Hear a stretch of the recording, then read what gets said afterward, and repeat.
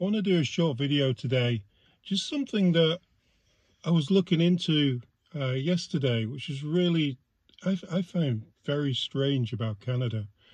Um, how come the politicians like Trudeau and Freeland and Marco Mencini Doni or whatever he's called, how come they don't get told anything about anything and the only time they know anything is if it's on the news.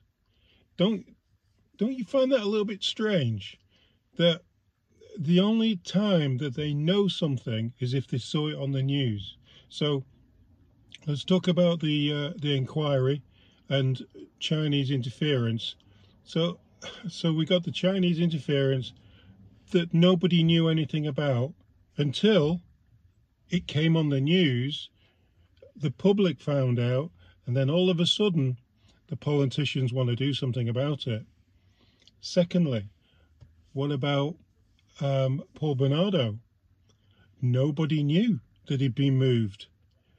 Nobody, nobody even thought about telling anybody in the government that they were going to move the most notorious killer, horrible person in Canada they never even thought about telling the politicians. And then the only way that they found out was when it was on the news. And not just any news, the CBC news that's broadcast to everybody on on TV. I have a theory, and I think you're going where I'm going, that it didn't happen unless the public know it's happened. Yeah, just just food for thought, guys.